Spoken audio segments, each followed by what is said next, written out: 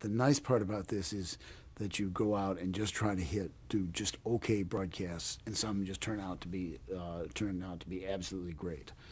Uh, the conversations with Morrie was a thing where there was this guy dying of Lou Gehrig's disease up in Boston who was a philosophy professor, and we said let's go up and try it, and that turned into three of the most extraordinary broadcasts that you, that you could imagine. He just turned out to be great, and you had no way. You know, you you you you, just you just try it.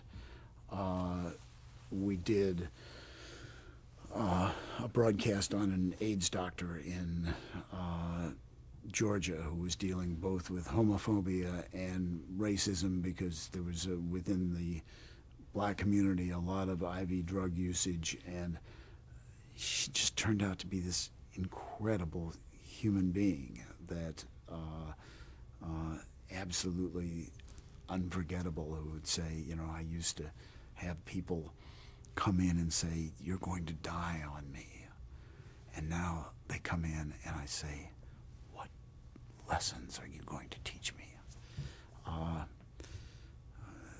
certainly one of my uh, my favorites is what Ted and Leroy Sievers did in, uh, in the in the war that was just an extraordinary triumph of reporting day after day under the most incredibly difficult circumstances that you could possibly have and and telling people how this is going and by putting yourself at the front line in in real danger in in in real fear uh, but that was one of the best things that, that Ted has ever done.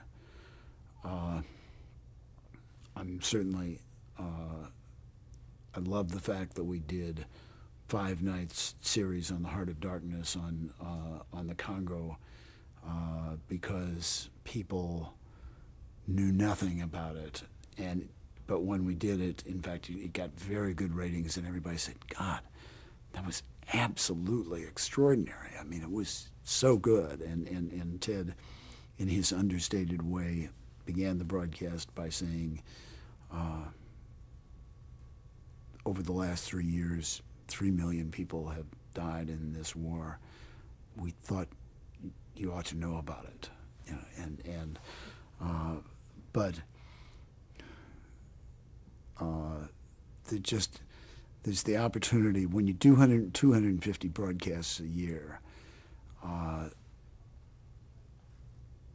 a lot of them are just average, but 20, 25 or 30 of them are really quite good, and 20 of them are really great.